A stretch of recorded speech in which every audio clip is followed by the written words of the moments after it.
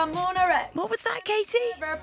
Huh? Wara ufa moonaret. Don't worry if you're feeling confused, it's just Katy Perry speaking the crazy language of The Sims. So, if you ever wondered what last Friday night sounded like in Simlish, listen up. Kipsy upper goop. Yarmy denzel table dupes. Ibi duka mimi shoops. Hippie kipsy upper goop.